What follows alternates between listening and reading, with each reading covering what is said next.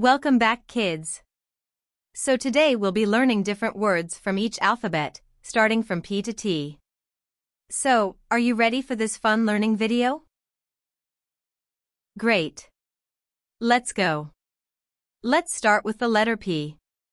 P is for Penguin, waddling gracefully on the icy shores.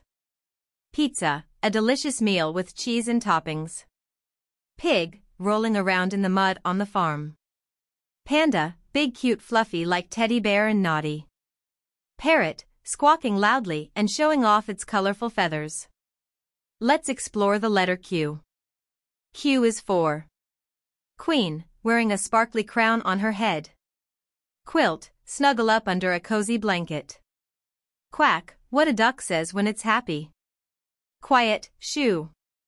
Time to be calm and still. Quarter, a shiny coin worth 25 cents. Moving on to the letter R. R is for Rainbow, stretching across the sky after a storm. Rabbit, hopping through the green grass of spring. Rocket, blasting off into outer space. Robot, beeping and booping as it walks around. Rain, falling softly from the clouds above. Next is the letter S. S is for Sun, shining brightly in the sky, giving us warmth.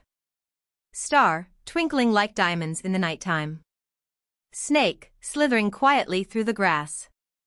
Sailboat, gliding across the sparkling blue sea. Sandwich, a tasty meal with bread and fillings. Now, let's discover the letter T. T is for Turtle, slowly crawling on the sandy beach. Tree, providing shade and shelter for animals. Train, choo-choo. Teddy bear, soft and cuddly. Well done little explorers. You have completed the fourth series of word play. Now get ready for last and final series of words in my next video. Do subscribe to my channel for more fun learning videos. See you soon.